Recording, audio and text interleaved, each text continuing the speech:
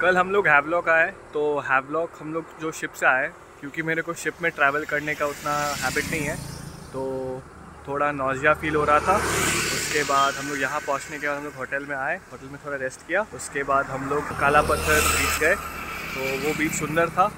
सो वहाँ पे ज़्यादा टाइम स्पेंड नहीं किया।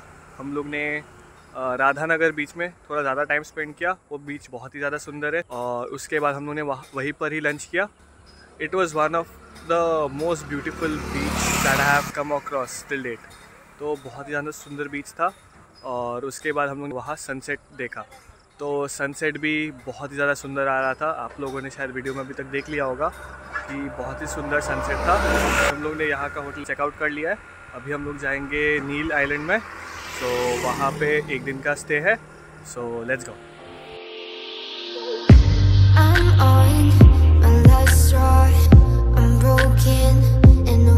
अभी कुछ ही देर में हमारा शिप आने वाला है सो so, तब तक ये व्यू का मज़ा ले।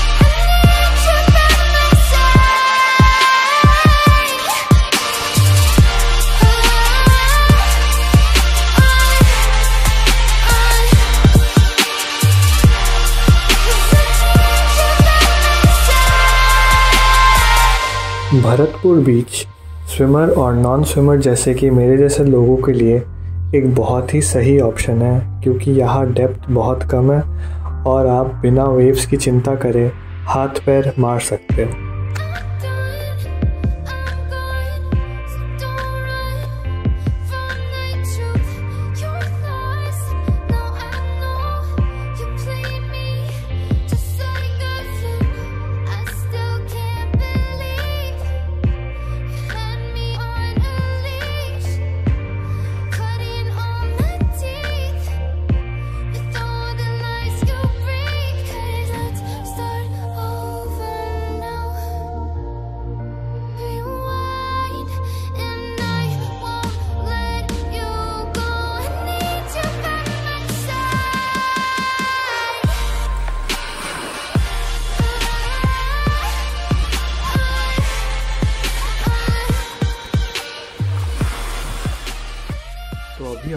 लक्ष्मणपुर बीच में सनसेट देखने जा रहे हैं Said take the picture, but you rolled your eyes.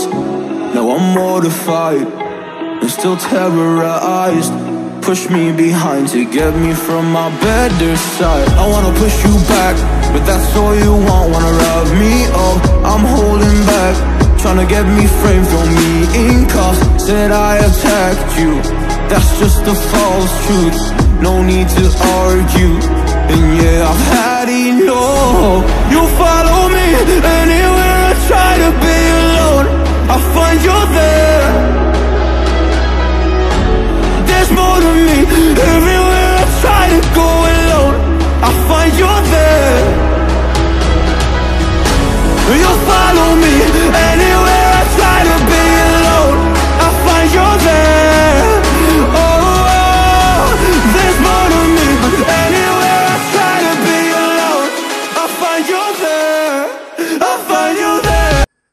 कल हम लोग ने नील आइलैंड पे स्टे किया।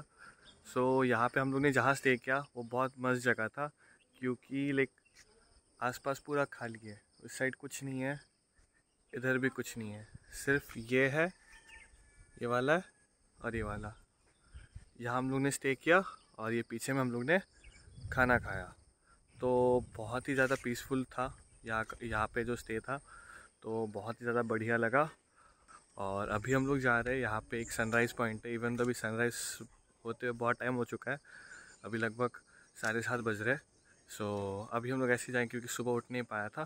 थोड़ा टायर्ड लग रहा था। तो इसलिए अभी हम लोग जाएँगे सनराइज़ पॉइंट में कि देखने के लिए क्योंकि वहाँ पे भी बीच ही है। सो देखने जाएँगे कैसा है। और हाँ अगर आप लोगों को ये पूरा सीरीज़ अच्छा लग रहा है तो काइंडली इसे एक लाइक कर दे। और चैनल को ज़रूर सब्सक्राइब करें।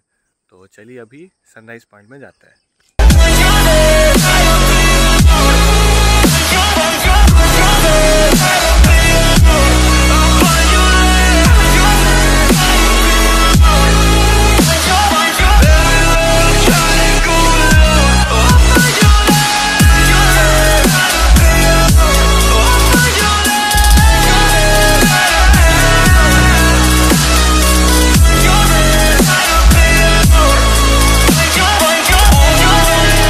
सो so, ये वाला बीच जो है ये ऑलमोस्ट खाली है सिर्फ़ कुछ ही लोग हैं जो इसे देखना है। तो बीच में ऐसा माहौल अच्छा लगता है ज़्यादा भीड़ वाला बीच भी अच्छा नहीं लगता है। सो so, ये वाला बीच बहुत ही सही है और यहाँ पे स्ट्रक्चर्स भी बहुत बढ़िया बढ़िया है।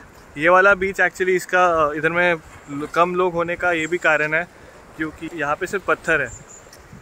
It's all rock all over तो इसीलिए शायद लोग कम आते हैं यहाँ। क्योंकि आप पानी में नहीं जा सकते हो। तो ये भी एक कारण हो सकता है।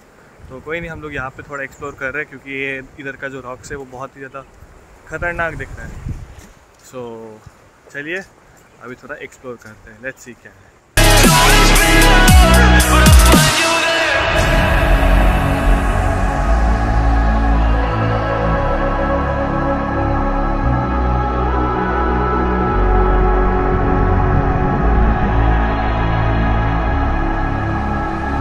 तो शायद यहाँ पे हमें केव मिल गया है। चलिए देखते हैं।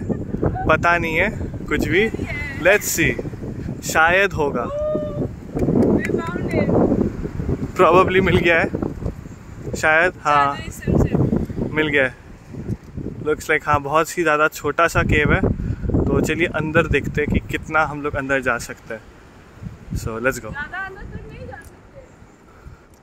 देख लेते हैं। और ये तो शुरू होते ही बंद हो गया। So so it is probably यही पे कि आप यहाँ तक ही जा सकते हो। यहाँ से आपको दी एंड दिख रहा होगा इसका इसके आगे आप लोग नहीं जा सकते। वहाँ पे अंदर है मेरे को एक बिस्लरी का बोतल दिख रहा है बस। और बाहर से तो लग रहा था केव है लेकिन अंदर घुस के लग रहा है कि कुछ नहीं है। डेड एंड है। सो so, ऐसा नज़ारा अगर घर के बाहर मिल जाए तो लाइफ का जो मज़ा है, वो एकदम अलग ही लेवल पहुँच जाएगा।